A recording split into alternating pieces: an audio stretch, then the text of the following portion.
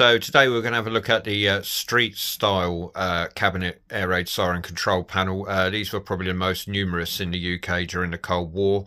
There were two variants available. There was the siren switch panel number one, which was the uh, standard 415 volt three phase supplied panel. Um, and then there was this variant, the number three. Uh, so this one actually ran on 240 volt supply uh, so this was for areas where three phase wasn't available.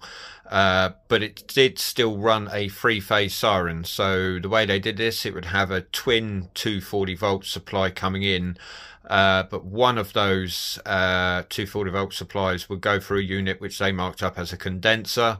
Uh, that would have been a grey box just down to the right hand side um, of this control panel uh, and we'll show you it just in a photo coming up now.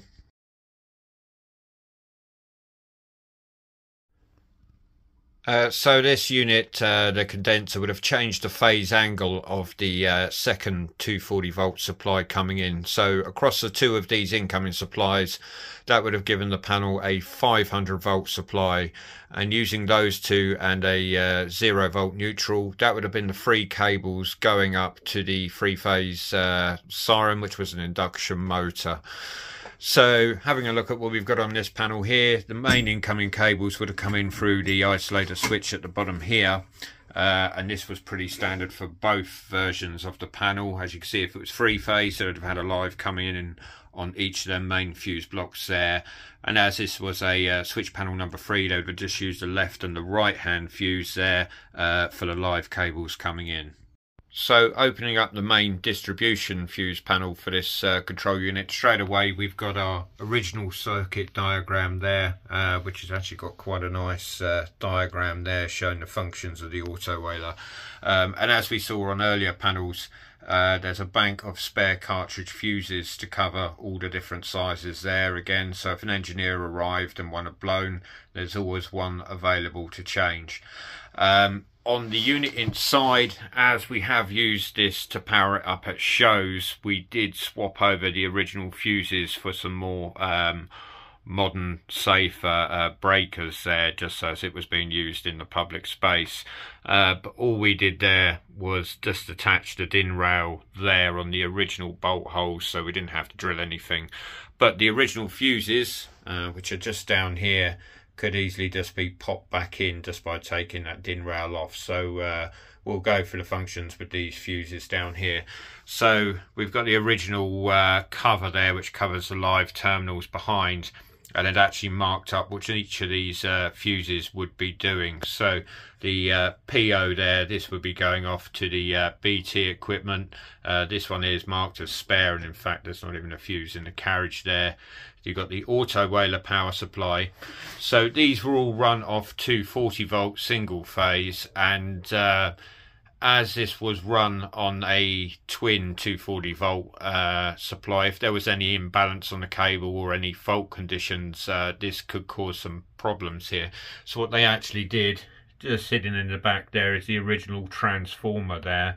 So that just smoothed out the power supply there, uh, which ran all of these uh, lower ampage uh, 240 volt single phase supplies here, uh, just to protect that equipment. Um, moving along here, the two siren motor fuses are actually at opposite ends of the uh, board here. And if you look at the original fuses here, you can see they were actually separated. So the motor fuses uh, were always painted red in these. So the first 240 volt supply, as you can see, the supply bus bar into that is all bolted together. So this was actually one side of the siren motor this was the uh, heater plate and this was the power supply for the uh, transformer we were just talking about. But the second siren motor fuse was kept separate and that came off that different 240 volt supply which was at a different phase angle.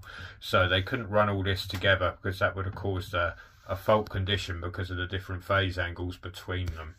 So just to the left hand side hiding away there is the original contactor.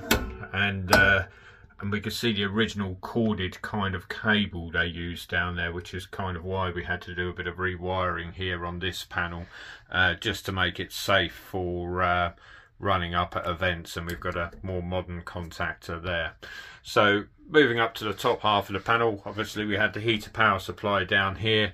This would have powered the isolator up here and this was for the um, heater plates at the end of the siren, again just to prevent freezing. And again you can see there's another single phase fuse inside there. And obviously we had our autowailer there for testing with its uh, electromechanical timer up there and just a test lamp in between uh, where the cables run through there would have been activated as well. So that pretty much covers our uh, functions of the Siren switch panel number three. Um, I do have a friend who has a Siren panel number one, so hopefully at some point I'll be able to pop over there and maybe do a video um, just on the differences between the, the three and the one. We do have a uh, another more modern panel coming in soon for recommissioning, so uh, we'll do a video on that when it gets here. And I suppose the last thing left to do is just to do a quick test on this one.